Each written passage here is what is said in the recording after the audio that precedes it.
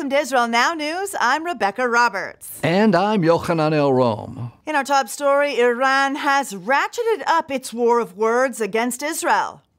Tehran's mission to the United Nations vowed that if Israel goes to war against Hezbollah in Lebanon, the Jewish state will be obliterated and warned that all options are on the table.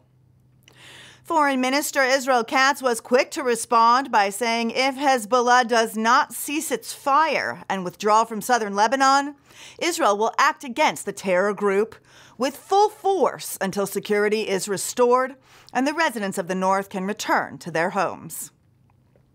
Katz went on to say that a regime that threatens destruction deserves to be destroyed. Hezbollah has refused to obey UN Security Council Resolution 1701 that demands the terrorist group withdraw north beyond the Litani River.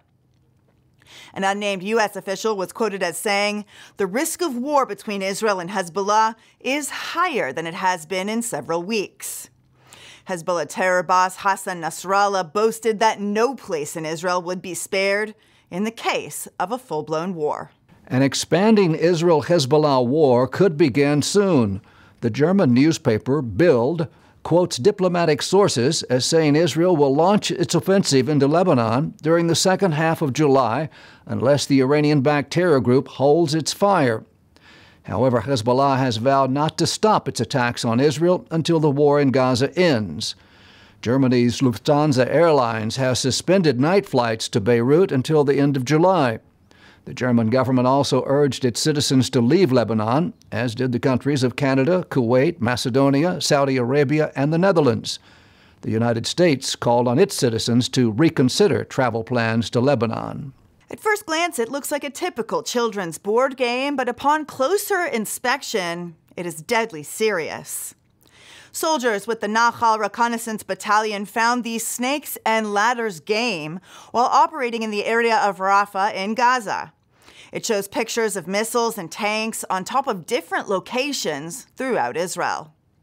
In addition, there are images of Hamas terrorists going through tunnels, indicating a direction of movement to the players. The game is a cynical method of teaching and encouraging terrorism in children.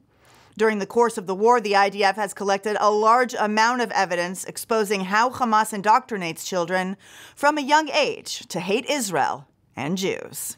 Arab terrorists in the Gaza Strip fired nearly two dozen rockets at Israeli border communities. This was the largest barrage of missiles in the past seven months.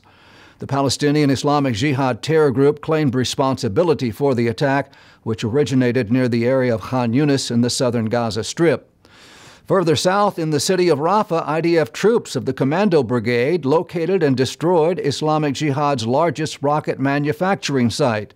The subterranean facility was used to build hundreds of projectiles. During the operation, Israeli soldiers battled gunmen above and below ground, killing several terrorists. The Anti Defamation League and the Crowell and Moring International Law Firm in Washington have filed a federal lawsuit alleging that Iran, Syria, and North Korea provided material support to the Hamas terror organization that enabled it to commit atrocities in Israel on October 7th. The suit names over 100 plaintiffs, including U.S. citizens, who were injured or killed as a result of the barbaric attack, and immediate family members of the victims. The ADL said it is doing everything possible to hold Hamas terrorists and those who support them accountable. Foreign countries that sponsor terrorist activities typically refuse to honor judgments against them. However, the Crowell and Moring law firm has decades of experience in litigating and winning terrorism cases. The company believes it is imperative to combat terrorism using whatever tools are available, including the courts and the U.S. Victims of State Sponsored Terrorism Fund. The former head of Israel's Civil Aviation Authority has accused Turkey of committing an unimaginable act by refusing to refuel an El Al passenger jet. Neri Arconi said it was a blatant violation of the bilateral aviation agreement between Ankara and Jerusalem. He urged Israel's transportation minister, finance minister, and prime minister to take action.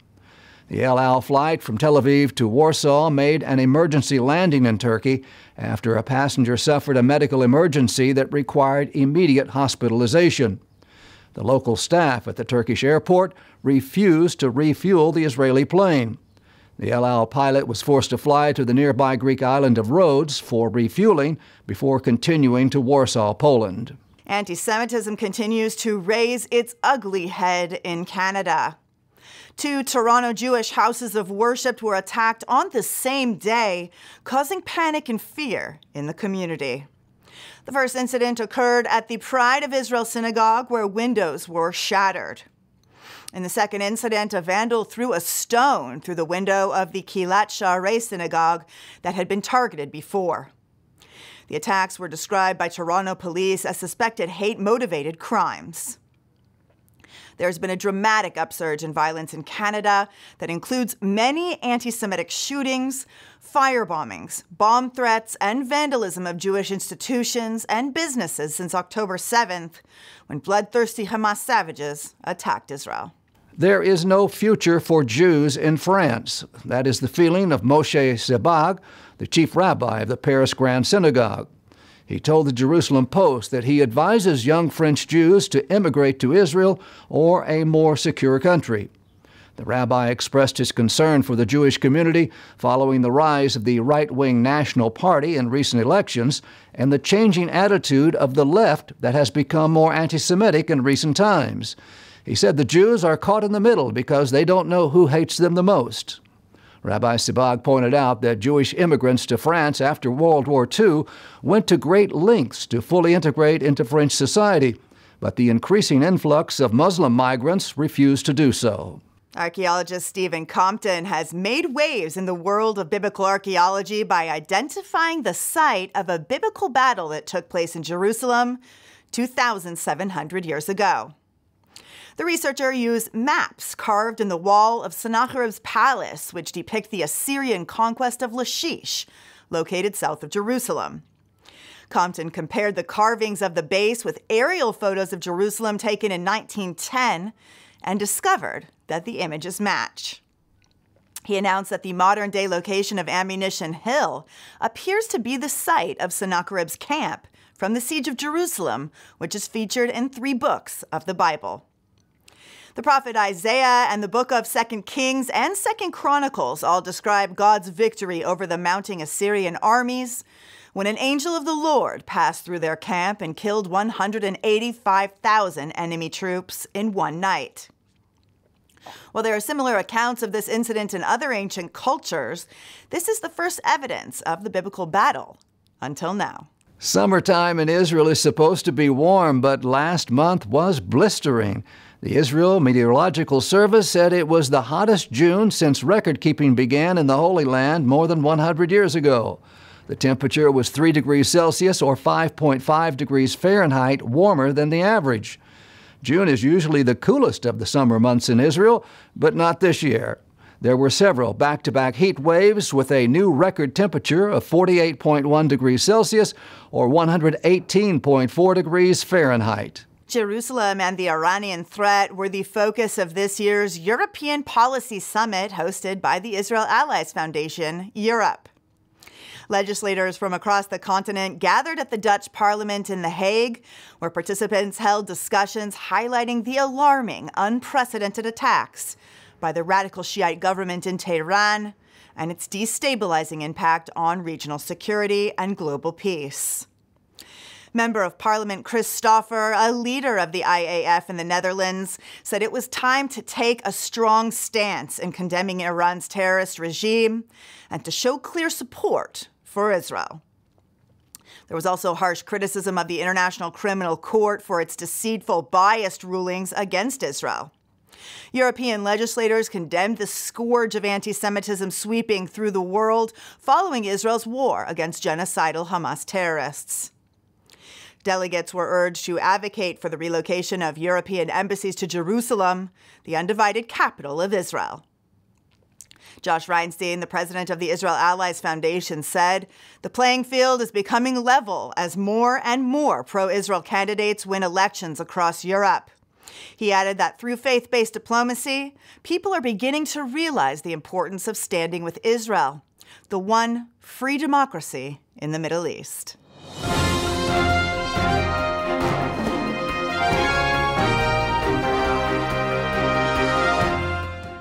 That concludes the news portion of our show. Stay tuned for Ask the Source with Josh Reinstein.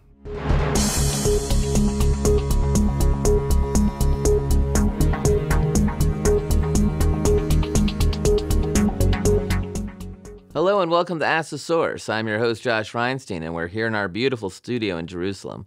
My guest today is Olga Deutsch. She's the vice president of NGO Monitor. Olga, thank you for being on the show. Thank you so much for having me. Olga, tell our viewers a little about what is NGO Monitor? NGO Monitor is a Jerusalem based research institute created 20 years ago by US professor Gerald Steinberg, who is still our president.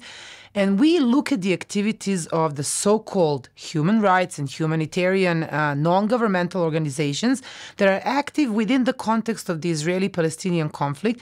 But instead of promoting human rights, they tend to promote anti Semitism, anti Israel agendas, and oftentimes have uh, connections to terror. So, this issue has actually come up a lot, especially with UNRWA. We saw in the UN that they are actually funding and sometimes even taking part in the terrorism itself. Who's funding these organizations in large? UNRWA is only one out of 25 UN agencies that are active here in Gaza, but in general, within the Palestinian society, it is the most uh, or the best known one, right? Um, and they all are funded through humanitarian aid. Now, humanitarian aid, when we say the international community and giving humanitarian aid, we envision hundreds of countries. But at the end of the day, we're talking about 30 developed countries, according to OECD. Um, and according to conservative estimates, since the Oslo Accords, which is basically in the last 30 years, these 30 countries funneled around $40 billion in humanitarian aid to the Palestinians. And again, as you say, as we've seen, much of this was diverted to either physically support terror, to build tunnels and rockets, but also, and this is much less known to the public, a, a component of humanitarian aid is political advocacy. So when the UN asks the donor countries to give uh, only in the last quarter uh, of 2023, following the October the 7th, $1.4 billion in humanitarian aid, you need to know that a huge portion of that goes to political advocacy, which is just a nice word for anti Israel activities and anti Semitic activities around the world. So the question is why? This is self defeating. Why would the Western countries around the world, the developed countries, want to fund terror and pro Islamic sentiment? Well, it's a million dollars question, right? Sometimes it is lack of knowing and lack of uh, understanding what is really happening on the ground. Most countries don't have proper and sufficient vetting mechanisms to check who do I work with? Who are my partners? How does the money go? And through whom does the money go? And do my partners on the ground know how to distribute aid, right? Um, but sometimes there is an ideological uh, component to that.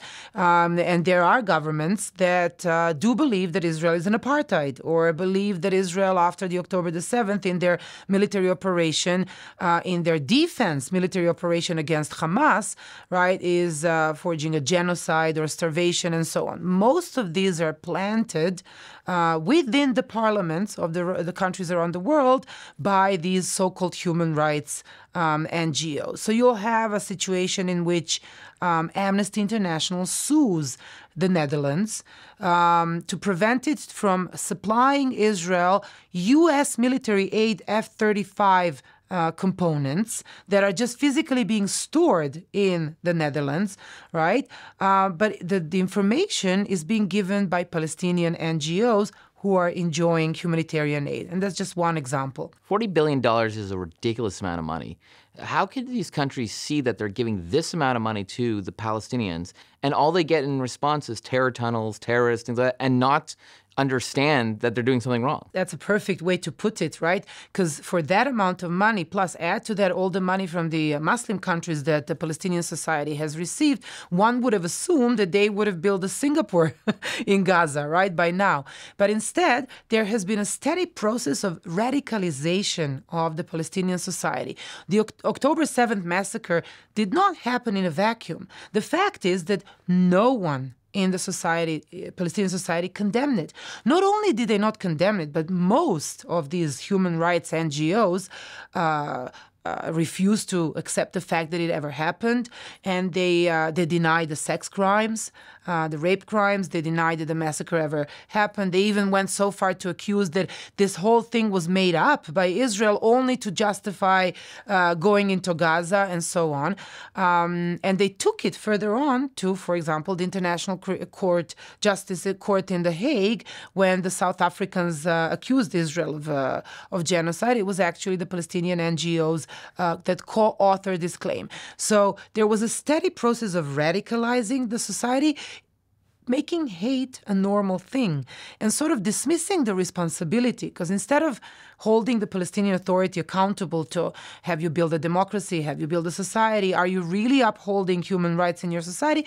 Everything becomes a question of yes, occupation, no occupation, and simply denying Israel's right to exist regardless of its borders. Whoever tries to tell you that it's about this or that border is not really telling the truth. Although there are literally tens of millions of people watching this show, what message do you have for a viewing audience? When you watch the news, be critical not everything that you hear in the news is accurate. And what we can tell you based on our open source based research, right? This is all original sources, is that most of it comes from politicized groups who have an ulterior motive. And the ulterior motive is actually to deny Israel's right to exist as a Jewish homeland, democratic but homeland of the Jewish people, the only such country in the world. And I also want to appeal to you to when you see something like that, reach out to your elected officials, reach out to your local leaders, and raise the voice. Let us hear also that those who hate Israel are not the majority, because sometimes they tend to be the, the loud ones. Thank you, Olga, for being on the show. And thank you for tuning in to Ask the Source. I'm your host, Josh Reinstein. Now back to the studio.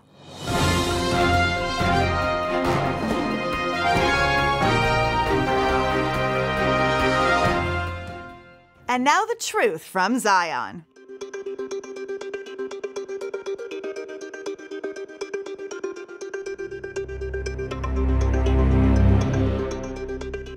Today, the issue of refugee status in the Middle East is often dominated by discussions about Palestinians. But there is a side of this conflict that frequently gets overlooked the plight of Jewish refugees. The majority of Israelis are the descendant of Jewish refugees who escaped brutal tyrannies in the Arab world. Jewish men living in Arab nations were not allowed to own businesses or openly practice Judaism. They constantly worried that their homes would be confiscated by the state or robbed by local anti Semites. Many were harassed, beaten, or killed by Arabs who would not tolerate Jews. After generations of abuse, when the State of Israel was declared, Arab nations gleefully threw out their Jews. Syria, Yemen, Iraq, and Iran uprooted their Jewish communities. Muslims in these nations carried out violent, hateful, targeted pogroms against their Jewish neighbors, forcing them out of the countries that Jews had been living in for centuries. They had to leave everything behind. Iran instituted discriminatory laws that prohibited Jews from taking their personal possessions with them. They had to surrender their finances and were unable to sell their homes or any assets. Despite being forced from their homes throughout Africa and the Middle East, the Jewish people were never called refugees and not one international organization rushed to their aid. When they were exiled, the world pretended as though it was not happening. Jews relied on hard work and put their hopes in the Promised Land. Their support came from the newly established State of Israel and the hundreds of thousands of Jews already living there. With nothing but the shirts on their backs, they embarked on a journey to a land they could call home for the first time in 2,000 years. One of Tel Aviv's oldest neighborhoods predates the city's establishment. It's called Kerem HaTemonim, which was established by Jewish families from Yemen who are known to have journeyed across Africa without shoes or money with the hope of reaching the Promised Land. They turned a piece of desert into a thriving commercial market which today is a trendy place for young Israelis to live. Another group of Jewish refugees were millions of European Jews escaping the ashes of the Holocaust. Some were relocated outside of Europe through friends and families with visas in other countries, but many put themselves on boats and kissed the ground when they arrived on the shores of Israel. They quickly relinquished their refugee identity and worked tirelessly to become integral members of Israeli society, contributing to its vibrant tapestry in various fields. Former member of Knesset Ran Cohen escaped persecution in Baghdad, Iraq, when he was just 13 years old. Police raided his home in the dead of night, arresting his family for the crime of being Jewish. His parents sent him ahead, smuggling him through Iran. He arrived to the Holy Land alone, just shortly after Israel became a nation. He reunited with his brother who had been sent earlier. Eventually, his parents also made it to Israel. After putting himself through school and army service, Cohen became active in Israeli politics and eventually served as the Minister of Industry and Trade. He speaks openly about his harrowing tale of escaping persecution and his determination to excel in the merit of his parents. There are countless others whose stories may not make headlines, but are equally inspiring. These Jewish refugees have overcome adversity to build new lives for themselves and their families in Israel, and they did it all without global sympathy, recognition, or support. The plight of Jewish refugees is often overshadowed by the ongoing narrative surrounding Palestinian refugees. Palestinians are the only group of refugees to have a UN organization dedicated solely to them. That organization, UNRWA, the United Nations Relief and Works Agency, has been failing at lifting Palestinians out of refugee status for 75 years. The idea is to continue spreading their anti Semitic narrative that the Jewish nation is intentionally oppressing them. In reality, the United Nations and their discriminatory rules have forced Palestinians into a perpetual state of living as refugees for multiple generations who can only survive with welfare. It's time to shine a spotlight on the forgotten refugees, the Jewish refugees whose stories deserve to be heard, honored, and appreciated. Without help, Jewish refugees manage to rise up and overcome their circumstances by hard work and determination. Their resilience and success serve as a testament to the human spirit, the living values of the Torah, and their daily hope for a brighter future.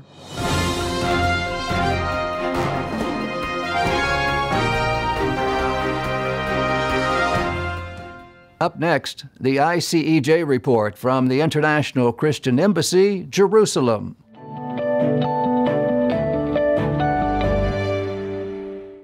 ICEJ is passionate about offering practical help and life changing opportunities to those in need in every sector of Israeli society.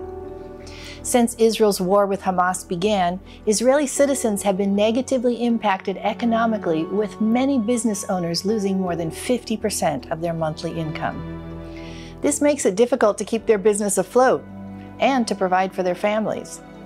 Government compensation offers insufficient relief for small businesses, many that are operated by women. The situation is even more complicated for those evacuated from their homes, far away from their customer base. To help alleviate these challenges, the ICEJ is sponsoring business mentorship and giving grants to help small businesses succeed even in these challenging times. Since 1980, the International Christian Embassy Jerusalem has been a voice of Christian support for Israel and connected the global church to the land of the Bible.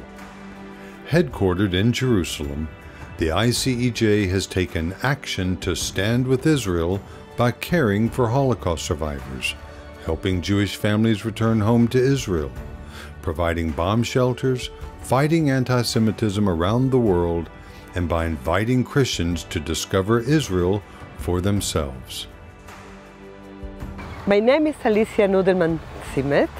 I'm a tour, tour guide, and it was my dream since I came to Israel in 1982. I love to tour the city, to tour the country, the history, the archaeology, the places.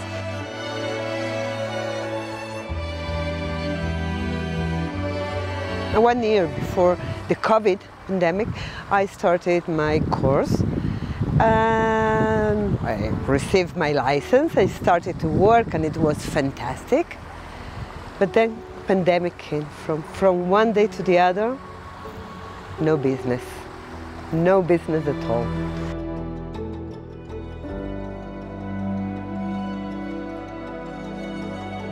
Okay, after COVID, life went on and uh, everything was okay. The business and 7th, October 7th. We are six months into this war. Since then, you know, no pilgrims, no tourists, no activity. I, I decided to take the mentorship because I said, okay, three meetings, what can I have to lose? It's okay. But I didn't really believe a lot. And it was amazing. In three important things for me. First of all, that it helped me to be focused that this is what I wanted.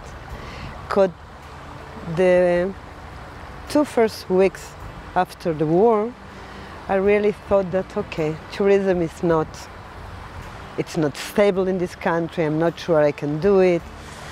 Perhaps I don't know. I have. And with the help of the mentor, it was for me clear this is what I want to do. My business is connected, I think, for my hope of peace.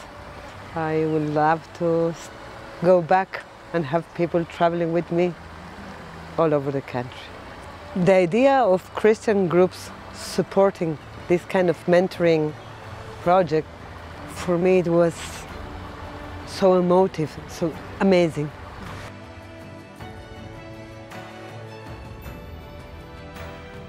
After Hamas brutally attacked Israel on October the 7th, 2023, the ICEJ has been actively standing with Israel and her people through advocacy and urgently needed aid projects.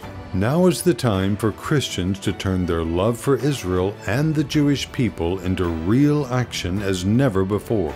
Your donation will help deliver bomb shelters to at risk areas, provide necessary supplies for first responders, support affected citizens with trauma care, and will eventually help rebuild these devastated communities.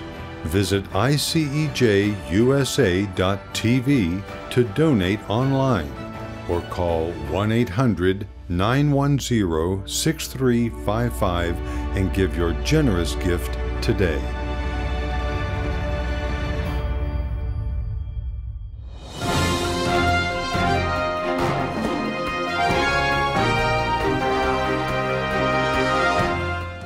That's all for this edition of Israel Now News. I'm Rebecca Roberts. And I'm Yochanan Elrom reporting from our studio in Jerusalem. Join us again next week for all of your Israel updates.